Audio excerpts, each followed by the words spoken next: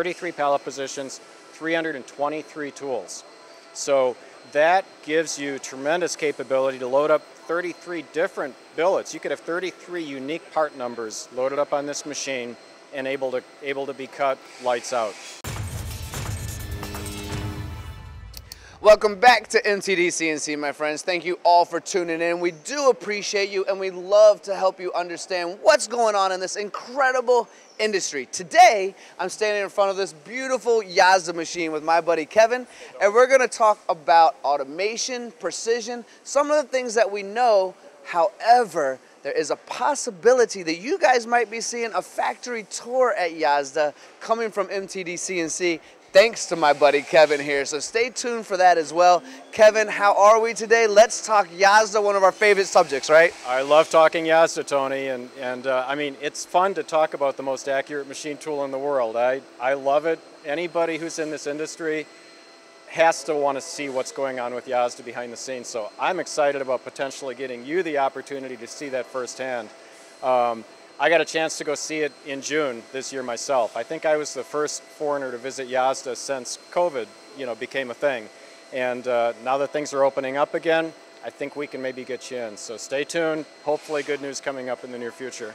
Kevin, they must like you and for good reason to let you be one of the first ones, if not the first one to come in. So congratulations. Let's talk Firstly, about the precision, because if we're going to go into this factory, maybe we won't give away the secrets, guys, don't get me wrong, but we will be able to showcase something. Let's talk about the history of YASDA, where this comes from, because it takes a real passion and a real dedication for decades of time to be known as the world leader in accuracy and precision, doesn't it? Yeah, absolutely. And you know, YASDA really started as a company making jig bores, um, you know, making parts that really were designed for performance jig boring and it's evolved into machines like this PX30i that take that jig boring capability and turn it into a very precision parts making machine.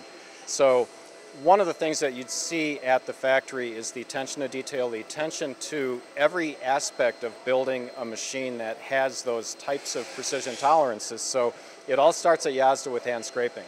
Um, and that's probably the most unique thing that you'll see at YASDA compared to any other machine tool builders, the amount of hand scraping that goes into these machines. It's literally the bottleneck when it comes to building one of these YASDAs. So there are tens and, and maybe more than that of hand scrapers that are just working all day. Every mating element of these YASDAs is hand scraped. So there's ultimate precision, ultimate geometric perfection with how these machines are put together.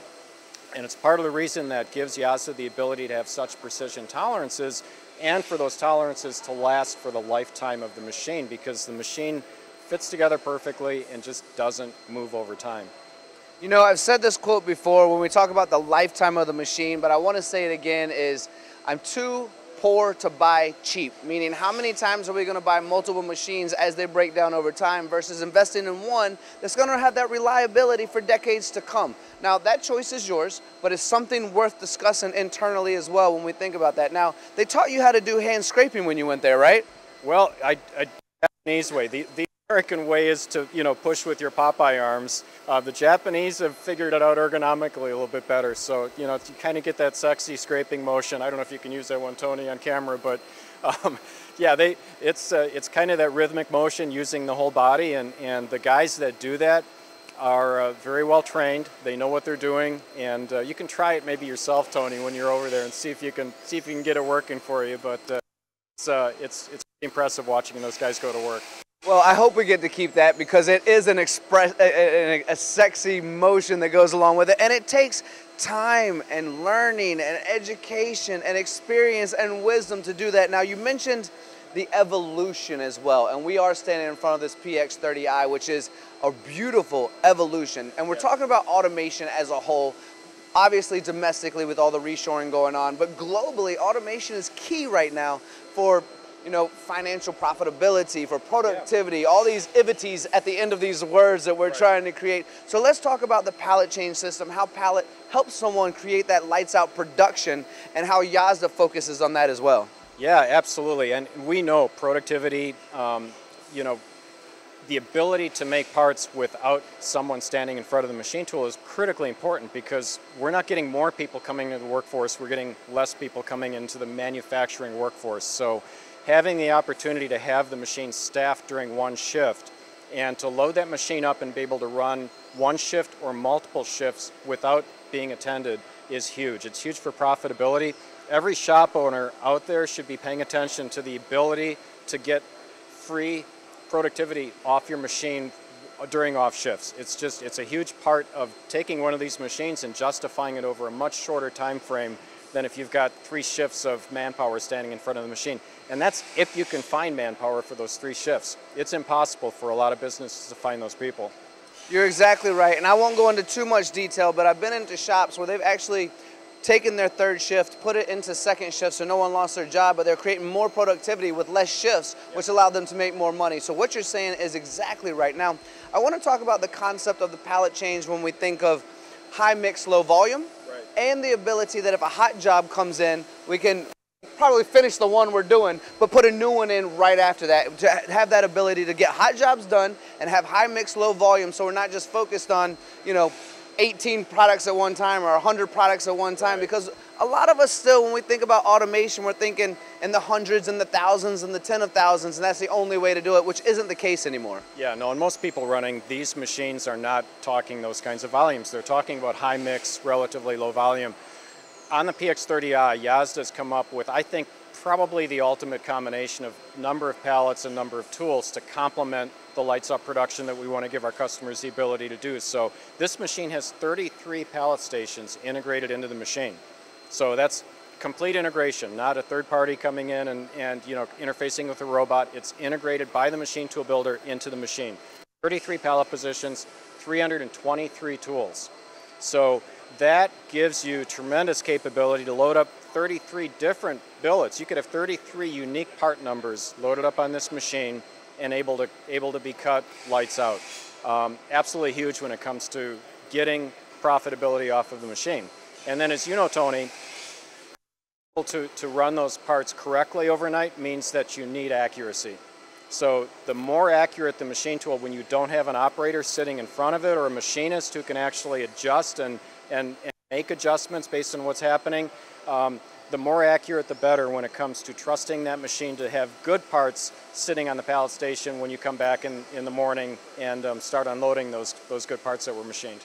You know, Kevin, you actually beat me to my next question, so well done, which allows me to go to my question after that because it was going to be how important is it to come in after a weekend or after a night and have the, the know that you're going to walk into parts that are good and you don't maybe you haven't even had to check all of them. Now we should check all of them, but we know that they're going to come off good, and we don't have that stress of coming in the next day going, "Oh my gosh, are they going to be okay?" We have that reliability. But I want to go back to the tooling real quick, since you've already answered that previous one. How important is it to have so many tools when we have this many pallets to either do redundant tooling to make sure that we have backups on harder material, or an abundance of tooling for all the different jobs if we're going to have a bunch of jobs? Yeah, well, I, you know, I, I see a lot of machine tools out there that may have this number of pallets, but they often don't have a large enough number of tools to complement that, Tony. And I've been selling in this industry for about 30, well, I'm not, I'm not going to give you the exact number, but let's just say over 30 in less than 40 years. And I don't think in that time I've had one customer ever come to me and say, Kevin, I really wish I would have bought a smaller tool changer just doesn't happen. Um, the more tools you have, the better. And you don't need to utilize all the pockets, it's not necessary, but it's really nice to have that 323 position tool changer to give you the flexibility to tool it to handle, you know, up to 33 different parts. Yeah, I, I agree with that. And being fair, walking around most machine shops, they're not all full, except there are times when they are all full depending on the jobs that come in and a lot of job shops can utilize this type of potential but it's not going to be every day all the time but how expensive can it be to add something later or to not have it and have to do two different setups instead of having everything on one setup? Whatever that complication might be i'd personally rather have more than less Absolutely, and it's disruptive to add things late. It's always more expensive to retrofit things, and it's disruptive to your shop. So having the right number of tools up front, having that capability is just, uh, it, it gives you a lot of flexibility and frankly makes the machine less of an issue down the road. I agree with you, Kevin. Now, I want to talk a little bit about what we're making here today because I'm absolutely sure the people that are watching right now have been staring at this Mandalorian helmet over my right shoulder with the fifth axis work holding and this gorgeous mug. So we're not actually drinking coolant out of this, I don't think. We're actually going to anodize these and put something delicious in here, right? Yeah, we, we will. And I mean, most of us in the industry probably have enough coolant in our system already where you don't need to drink any. So, you know, um, no, it's this is kind of more for the showcase display. But yeah, we've got these cool methods mugs that we're machining that just highlights some of the accuracy and surface finish that you can get off the PX30i. Um, I just don't find a lot of customers that make parts like this or the Mandalorian helmet for that matter. Uh, you know, again, machine tools, I think we kind of can treat them as, as fun from time to time and, and maybe and um, parts like this are, are frankly cool and they showcase the accuracy capability that a machine like a YASDA has making your medical parts, your aerospace parts, or your semiconductor parts to very precision tolerant, holding a tenth or less. If we can do this, can do those parts. That's what we're trying to kind of demonstrate for our customers. Yeah, and, and that goes twofold from my side of things. A, it looks really cool. And B, if we can do this, we can do those other parts as well. So we're showcasing the capabilities in a fun way. So let's sometimes not overthink these cool demos that are being done because they are a lot of fun.